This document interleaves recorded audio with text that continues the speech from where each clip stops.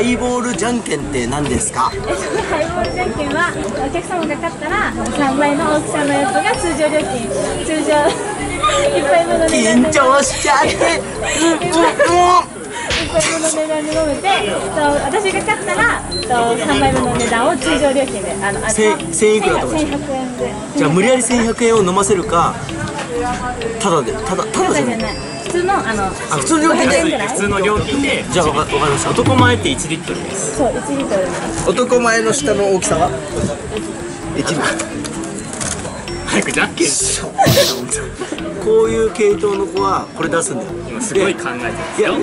大丈夫。考えててもどうせ出す時はあれ出すから。で俺が思ってるの出したら俺絶対口説けるから。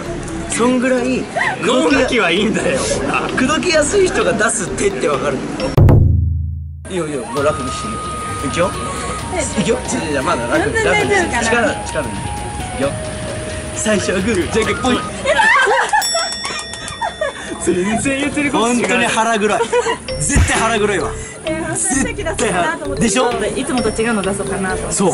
大体チョキ出す女の子は流されやすいの。でそこで。最初はグーじゃんけんぽいって言ったらもう人間ってこうやってチョキ出すんだよなるほど。で特に女の子ってもう流されやすい人ってチョキ出すんだよほらもう長かったね。ありがとうございます。はーいありがとうございます。最初の脳書きが長かった。でも言ったでしょチョキ出そうって。